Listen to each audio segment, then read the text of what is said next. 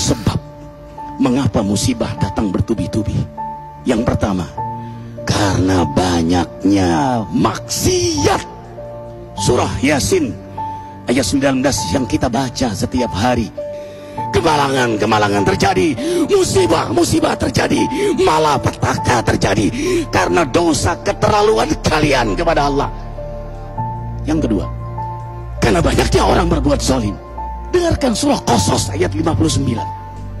Kami tidak akan menghancurkan satu daerah kecuali para penduduknya banyak berbuat zalim. Anak durhaka pada orang tua. Istri yang berani kepada suaminya. Perampok, pembunuhan di mana-mana. Ini mengundang bala bencana.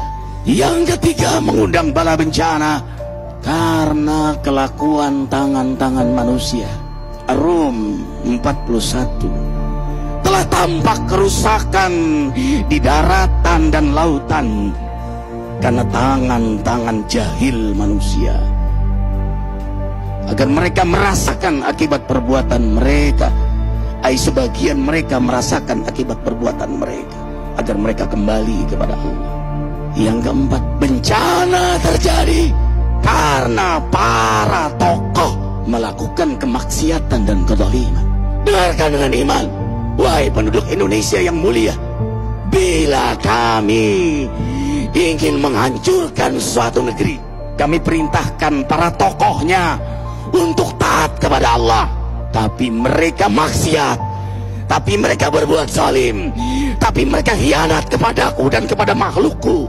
Bahaka alaihil qaul maka haklah untuk mereka datang bala bencana. Seperti kaum Ad, kaum Samud, kaum Lut, kaum Nuh. Kami hancurkan sehancur-hancurnya. Siapa tokoh itu? Para pemimpin kita yang sumpah Al-Quran di kepalanya. Demi Allah tidak korupsi. Lalu korupsi. Siapa lagi? Hartawan orang-orang kaya yang dengan harta berpoya-poya sombong maksiat. Dengan kekayaannya di tengah orang yang banyak menderita. Siapa lagi? Ulama yang menjual ayat-ayat Allah dengan murah.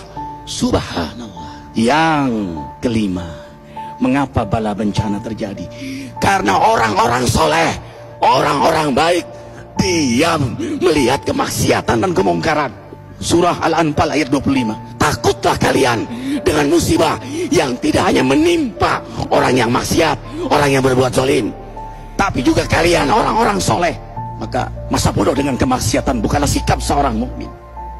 Amal ma'ruf nahi mungkar adalah amal cerdas. Yang keenam justru karena rahmat Allah.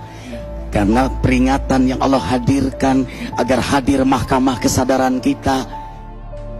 Ikhwah dengarkan dengan iman surah Al-Baqarah ayat 155 156 157 kami pasti uji kalian dengan sesuatu yang buat kalian takut lapar, takut miskin, takut kematian. Tapi kabarkan berita gembira bagi hamba Allah yang sabar dari semua ujiannya. Yang mereka berkata, sesungguhnya kami milik Allah dan sungguhnya kami akan kembali kepada Allah. Yang terakhir, yang ketujuh.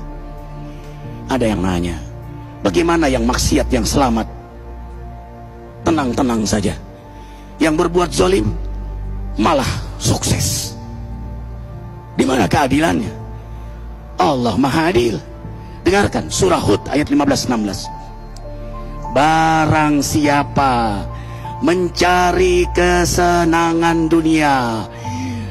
Lalu dia menghalalkan semua cara. Apa kata Allah? Kami beri. Tapi di akhirat tidak mendapatkan secuil pun kenikmatan malah nikmat di dunianya menjadi bahan bakar azab untuk dirinya. Itulah istidrat lalu apa sikap kita sekarang? Orang beriman menjadikan peristiwa apa pun sebagai jalan untuk mendekatkan dirinya kepada Allah.